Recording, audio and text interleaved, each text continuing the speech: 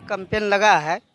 इसके ज़रिए से ये साफ़ ज़ाहिर होता है कि बाबरी मस्जिद पहले थी और अब भी वहाँ बाबरी मस्जिद ही सबूत हो रहा है। इससे पहले कोई मंदिर वहाँ नहीं थी और आज भी कोई सबूत नहीं मिल रहा।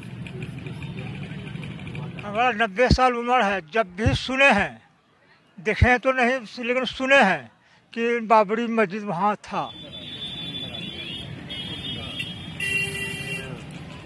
कि लोगों को एक सही रास्ता, यानी सही मैसेज देने के लिए हमने ये एक्सपो मेला लगाया है। और बिहार में एक फरवरी से 28 फरवरी तक चल रही है।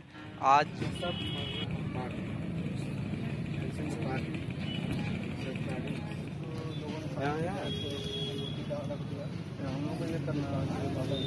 ये हम लोग जो बाबरी मस्जिद कैंपेन के ज़रिए से लोगों को ये पैगाम पहुंचाना चाहते हैं कि जो अदालत में अभी ये चल रहा है मुकदमा इस पर हम लोगों को पूरा यकीन और भरोसा है कि मेरे हक में फ़ैसला आएगा और वहाँ दोबारा हम बाबरी मस्जिद की तामीर कराएँगे